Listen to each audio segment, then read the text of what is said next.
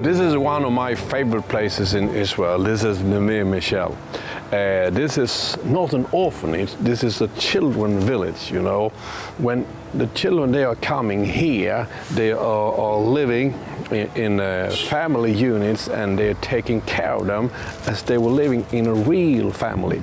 And today I'm going to show you some parts of what we have done here. You will meet with one of the directors here, Hava, and she will take you around. So now I'm going to meet Hava and I want you to follow me as I am following Jesus here in the Holy Land.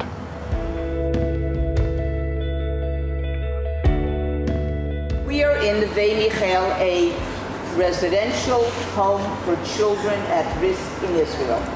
There are many homes like this, but we are the only one in the whole country that has what we have on site. Two crisis centers, elementary school, children from the age of four to 18. And Pastor Tommy knows many of the children when they were four and five and six years old. And many of the smiles that the kids have every day are because of the wonderful support, love, and care that we got from Pastor Tommy.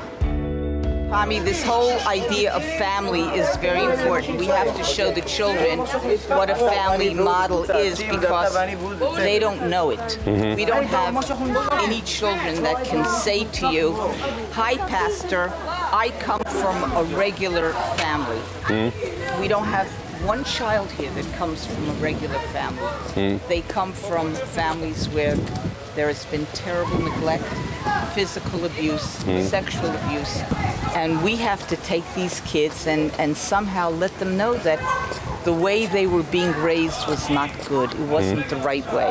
Hmm. We are giving them everything. We're giving them their clothes, their food.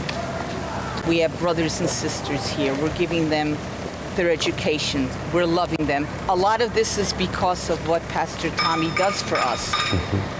When I see Pastor Tommy here, I'm thinking, I, I think his secret of success has been because he's done so much from his heart and with love.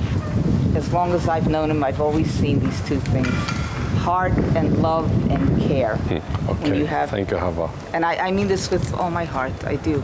Yeah, Thank God we have you. Thank God we have you. thank you.